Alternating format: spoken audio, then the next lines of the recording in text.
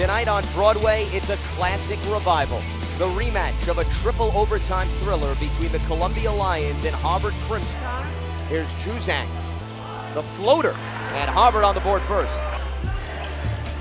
Kirkwood immediately off the dribble, feeds it inside to Forbes, and he's got a pair of buckets.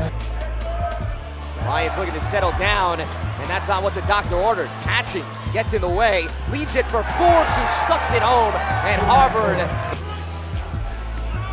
Aiken spots up for three and connects.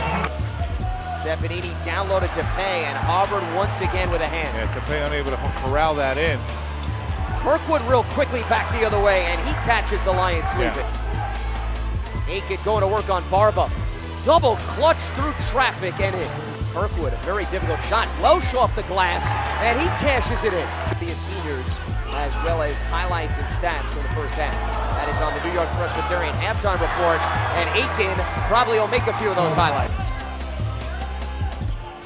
Aiken for three. He didn't look fatigued on that one, though. Did move, but just couldn't get it to go down.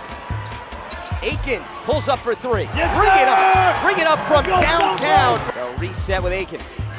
Aiken down the lane, shovels it underneath to Forbes, who flushes it home. Team From downtown. Aiken off the curl. And Aiken count the bucket plus the foul. Now Bibbs will get the assignment. Aiken from way downtown. Nothing but net. Auburn won for its last eight. Aiken leaves it for Lewis, and boy, is that pretty. Aiken leaves it for Djuricic, who puts it down with emphasis to start overtime. Aiken draws the triple team inside to Djuricic again, plus the foul. What court vision. Two-point lead for Columbia. Aiken kicks it out in the corner to Juzang, and Juzang comes through. Between shot clock and game clock, dangerous pass. Djuricic gets a hand in the way and stuffs it home.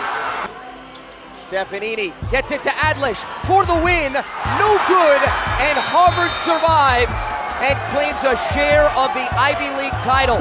For the first time since 2015, Harvard makes it back-to-back crowns in the Ivy League